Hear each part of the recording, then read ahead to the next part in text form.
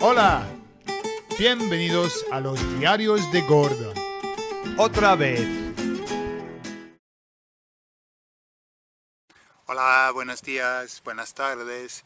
Estoy donde la charca. Ahora queda muy poca agua. A ver, vamos a ver la charca. Queda muy poca agua. Es que no ha llovido en mucho y hace mucho calor. Eh, estamos a julio y no sé si, si se va a secar del todo. Hay peces allí, hay carpas. Bueno, espero que no. Creo que va a aguantar. Vale, pues voy a seguir con las historias de mi pasado. Y esta vez voy a hablar de, del trabajo que tenía eh, y cómo se evolucionó. Eh, trabajé 20 años en textiles, más o menos 20 años. Y cuando empecé, eh, mi trabajo era de, darles a las maquinistas de la fábrica sus objetivos. Por ejemplo, le, le diría a una chica, por ejemplo, vale, tú tienes que producir 60 piezas por hora. Y si produces 60 piezas vas a ganar X. ¿vale? Era mi trabajo de medir con un reloj, medir el trabajo. Y me gustó, me gustó el trabajo. El problema fue que era como el, el enemigo de las maquinistas. Yo era el, el de, de los objetivos y yo podría hacer que yo podía hacer que, que, ganaran o no que no ganaran dinero. Eh, pero bien, empecé allí y me, gustó el trabajo, me gustaba. Luego, eh, gracias a mi éxito y mi, tenía, mi fuerte era eh, de tener como entusiasmo yo era un chico muy entusiasmado y todavía lo soy, pero en esa época tenía mucho entusiasmo, mucho. Y entonces me, subieron de, puesto a em, jefe de la producción. ¿Qué tenía que hacer? Yo tenía que trabajar con todas las personas de la fábrica eh, con las maquinistas. Y en mi fábrica había más o menos 200 chicas o 250 chicas. Y me encantó el trabajo. Mi fuerte era de, trabajar eh, con el contacto personal, trabajar con la gente. Yo podía manejar muy bien a la gente a través de animarlos y de yo no era nada de ese estilo de yo soy el jefe, nunca, nunca. Siempre hablaba con la gente y decía, mira, lo que tenemos que hacer esta semana es cómo podemos hacerlo en, en, en, plan equipo. Y se me daba muy bien ese trabajo, trabajar con la gente. Y trabajé en ese puesto en, en varias fábricas, pero durante, bueno, vamos a decir, eh, siete años, siete años, ocho años. Luego, gracias a mi éxito en ese trabajo, me subieron otra vez a, a ser el jefe de una fábrica en Newcastle. Y antes yo trabajaba con la gente, era mi, mi, mi fuerte, me encantaba, y de repente, rápidamente, me di cuenta de que eh, un jefe de fábrica trabajaba solo. Trabajaba en una oficina. Yo trabajaba en una oficina y solamente la gente que, que venía a, hablar conmigo eran o los supervisores, los líderes de, de, las, las líneas de producción, eh, o los, los jefes de los otros departamentos. Y siempre, casi siempre me venían a mm, darme un problema.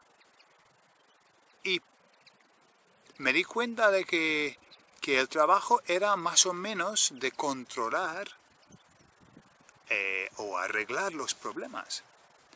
No con la gente, típicamente, problemas de la producción, de la calidad, cosas así. Y no era, ese trabajo no era tan gratificante.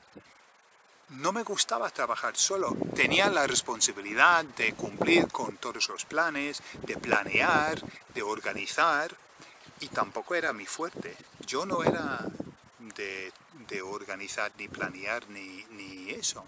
Yo quería estar con la gente, me, gustaba estar con la gente.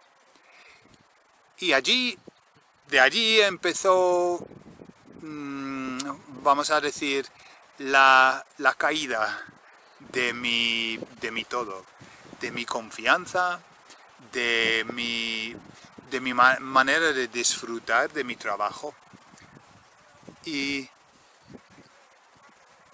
luego, después de trabajar allí dos años en, o, un año y medio en, la fábrica, eh, como manager de la fábrica, luego mm, mm, yo decidí mudarme a Marruecos, ir a Marruecos a, trabajar. Había eh, mucho trabajo allí. Entonces yo fui a Marruecos y en ese, mm, ese cambio me subieron otra vez a director de la producción. ¿Qué significa eso? Simplemente significaba que trabajaba con menos gente yo trabajaba con problemas y con menos gente, pero esta vez ya tenía casi mil chicas en la fábrica, una fábrica grande. Y yo fui con mucha confianza. Había hecho un buen, trabajo en, la, fábrica, mi fábrica, pero e-, era muy chiquitita. Y yo fui con mucha confianza a Marruecos y en cuestión de cuatro años había perdido toda la confianza, había perdido toda la, chispa de, trabajar. Eh, es que no podía trabajar con nadie, no con la gente, no, no. Tenía muchos problemas que, organizar, que arreglar, tenía que planear todos los días, hacer planes, estar en meetings, eh, eh, eh, hablar por teléfono horas y horas y horas, hacer papeleo. No era mi trabajo, ya no. Yo trabajaba con la gente. Yo era del, trato personal. Entonces, después de cuatro años de infelicidad y, por muchos otros motivos, eh, no, no, no, era un trabajo gratificante, era un trabajo muy difícil. Eh, me enviaron a México a trabajar allí. Y yo pensaba, vale, eh, México es un país mm, cristiano y yo voy a notar una diferencia, pero no. Era igual, igual, igual, igual. Porque, porque hacía el mismo trabajo. Yo no trabajaba con la gente, sino trabajaba solo, con los problemas y con mucha responsabilidad. Y cuando yo, mira, cuando yo trabajaba con la gente, yo podía con todo, cualquier problema siempre había una solución, era mi, expresión, ¿sabes? Mi dicho. Eh, no vamos a buscar eh, la culpabilidad, vamos a buscar la solución y todo eso. Pero luego con demasiada responsabilidad y con eso de trabajar en un trabajo que no era mío, eh, yo había perdido todo, había perdido mi dirección y yo no estaba trabajando en mi propósito. Ya descubrí después que mi propósito era ayudar. Estoy aquí para ayudar, para em, animar y para amar.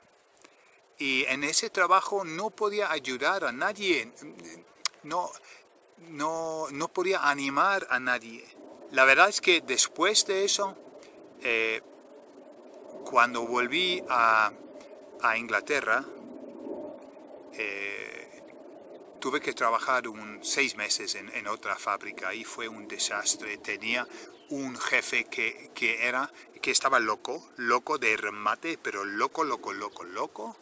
Y al final, al final, después de, vamos a decir, cuatro, seis, siete años de trabajar en un trabajo que no era eh, mío, ¿sabes? No era lo, lo, mío. Eh, yo fui, yo salí, me fui y eh, yo salí de ese trabajo, lo, lo dejé. Y lo, lo, hice porque a fin de cuentas yo sabía que ese trabajo no me hacía feliz. Me daba mucho dinero, mucho dinero, muchísimo dinero. Pero ¿para qué? Si no era feliz. Y yo eh, empecé un negocio eh, privado mío, eh, que no, tampoco era mío. El, el, negocio que empecé con un negocio y fue mm, por hacer algo, ¿sabes?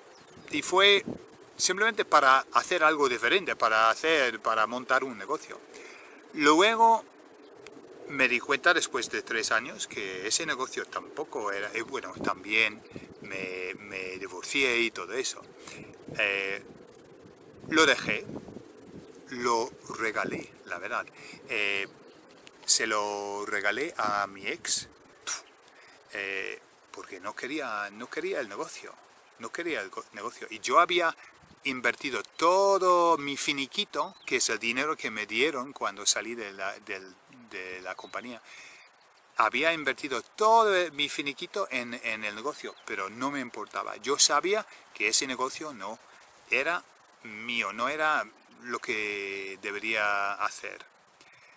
Y al final, después de unos errores, y bueno, os cuento, un error, empecé, en una compañía, era autónomo, y era una compañía de, eh,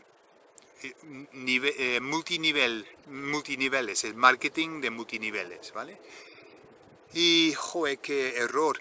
Quería, me, encantaba la idea de, ganar dinero, eh, eh, se llama, son ganancias indirectas, que tú haces el trabajo, pero no, es, no, no, son ganancias directas como tú trabajas una hora y cobras una hora. No, yo quería trabajar y cobrar aparte como para siempre.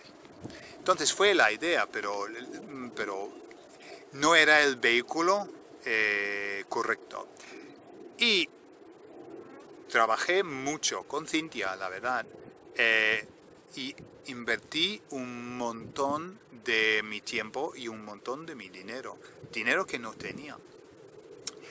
Pues al final, después de hacer eso tres años, eh, tuve que entrar en bancarrota y estaba, estaba en, no, luego hablamos de eso, pero estaba en la peor situación de mi puñetera vida. Había perdido todo estaba, estaba, pero tan mal de dinero en bancarrota, no, oh, e-, era increíble, increíble. Pero ahora os, digo la verdad, fue la, el momento más importante de mi vida. Fue el momento en el que decía, Gordon, ahora con tus no sé, 41 años, ¿ahora qué vas a hacer con tu vida? ¿Qué vas a hacer? Y tenía miedo de, estar en esa situación, pero también a la vez tenía mucha ilusión. Y de allí empezamos a hacer eh, Spanish. Y también fue duro, pero, pero salió bien. Entonces yo, mirando hacia atrás, yo sé que ese, ese tiempo en, textiles no me funcionó al final simplemente porque yo no trabajaba eh, en, lo correcto. Yo trabajaba en lo que la gente dice que, oh, sí, si deberías hacer, ganar mucho dinero, no importa el trabajo, es el dinero, porque luego tienes la vida mm, vives como un rey y no, no, yo vivía como un pobre, con mucho dinero. Y ahora me doy cuenta de que el dinero ayuda mucho, pero, pero no tiene que ver con, la felicidad. Eh, la felicidad es otra cosa. Y me alegro de, de haber experimentado todo eso. Y me alegro muchísimo de haberlo dejado detrás. Y de ahora poder estar aquí, sentado en, en, eh, donde la charca, mirando unos peces que, que, están en problemas y hablando con vosotros. Sí es la vida. Y, sí, creo que sí, ahora estoy siguiendo mi propósito, estoy viviendo como, como debería vivir. Y siempre cuando hablo con la gente, yo les, les digo la misma cosa, que si quieres ser feliz, solo tienes que entender por qué estás aquí, cuál es tu fuerte y seguir eso, ser fiel a ti, a, ti mismo, solamente. Que no es difícil, pero sí es difícil. Si estás en un trabajo y estás ganando dinero y, y, y ¿qué, vas? Y tienes familia y tú tienes que comprar la comida para la mesa y pagar las facturas y el alquiler, ¿qué vas a hacer?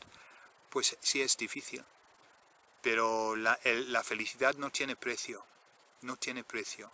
Y ahora al pensar que, pensar en vivir toda la vida infeliz con mucho dinero o vivir la vida con poco dinero feliz. Pues ahora no hay elección. Es una pregunta tonta. ¿Sí? felicidad primero. Vale, chicos, hasta luego. Y eso es todo. Gracias por haber estado conmigo y nos vemos en el próximo diario. Hasta luego chicos, hasta luego.